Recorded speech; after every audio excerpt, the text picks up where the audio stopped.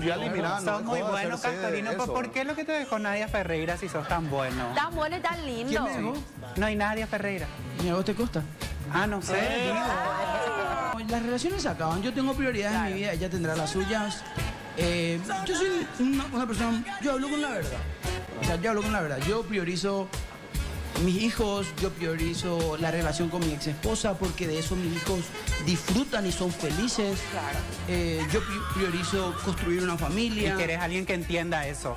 Y yo estoy en un nivel que he aprendido en la vida emocionalmente para llegar a donde estoy. No me fue fácil.